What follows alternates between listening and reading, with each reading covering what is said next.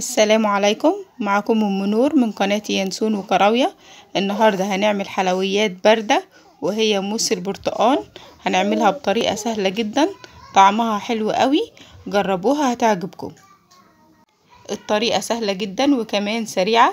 تنفع للضيوف وتنفع كمان لأعياد الميلاد. والأطفال بيحبوها جدا جدا. ما تنسوش تشتركوا في القناة وتفعلوا الجرس عشان توصلكوا الوصفات الجديدة. وكمان تعملوا لايك للفيديو. أول حاجة هنحتاج كسرولة هنحط فيها كوباية من عصير البرتقال ونضيف على عصير البرتقال معلقة صغيرة نشا. المعلقة صغيرة بس مليانة. هنقلب النشا في عصير البرتقال كويس جدا. بعد كده نشغل النار والنار تكون متوسطة ونفضل نقلب في الخليط ده لحد ما القوام يتقل ويكون شبه المهلبية. أهم حاجة التقليب المستمر عشان ما يكلكعش. أول ما القوام يتقل ويكون معانا بالشكل اللي أنتوا شايفينه ده نطفي النار على طول. بعد كده معانا برتقانتين هنقطعهم وهنشيل القشر ونقطعهم لقطع صغيرة. الكمية دي تكفي لأربع كوبايات عشان كده معانا برتقانتين بنقطعهم نصهم للتزيين ونصهم بنقلبه مع الموس نفسه.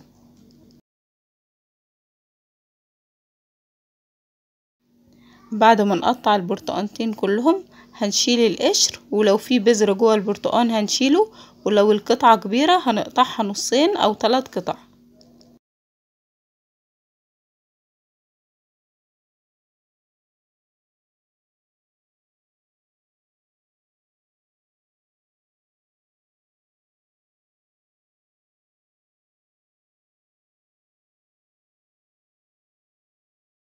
كده خلاص قطعنا البرتقال إحنا عايزينه قطع صغيرة بالشكل ده. وهنحتاج كمان لكريمة ده تمن كيلو كريمة. الكريمة دي أنا مش شارياها أنا عاملاها في البيت هتلاقوا الطريقة في الوصف تحت الفيديو. الكريمة دي معمولة بالليمون بدون جيلاتين بدون نشا بدون حليب وبدون زبدة. والطريقة مظبوطة وقوامها تقيل جدا هتعجبكم قوي ولو هتشتروا الكريمة من برا يبقى تمن كيلو كريمة عليهم كوباية مية متلجة عليهم أربع معالق سكر اضربوهم بمضرب البيض هتديكوا برضو نفس الكمية. بس نصيحة مني اعملوا الكريمة في البيت بالطريقة دي. أنا جربت كل الكريمات الجاهزة. مفيش ولا نوع أتقل من الكريمة اللي أنا عملتها في البيت. هشيل حوالي معلقة كبيرة من الكريمة ودي هحتاجها للتزيين على الوش. وباقي الكريمة هضيف عليها عصير البرتقال اللي ربطته بالنشا. هضيفه هو دافي شوية. بعد كده هخلطه بمضرب البيض.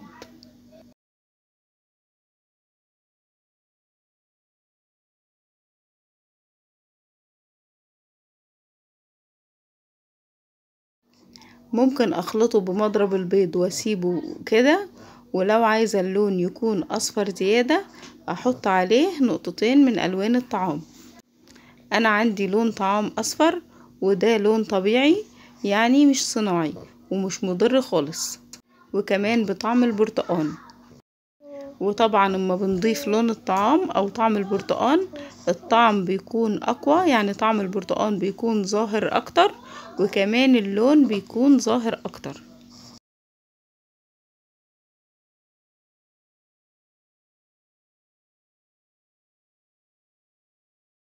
بعد كده هضيف على الكريمة نص كمية البرتقال اللي قطعتها وهقلبهم في الكريمة بعد كده أصبهم في الكوبايات.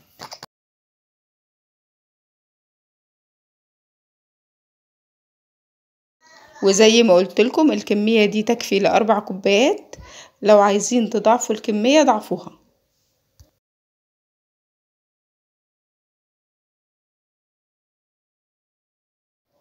بعد كده هنحط معلقتين من الكريمة اللي شلناها في الأول على وش الكوبايات من فوق.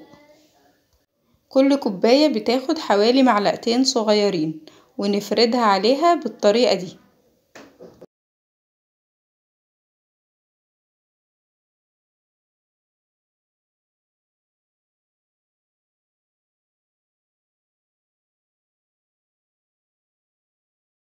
بعد كده نزينها من فوق بقطع البرتقان الباقية. شكلها حلو جدا وكمان طعمها حلو قوي.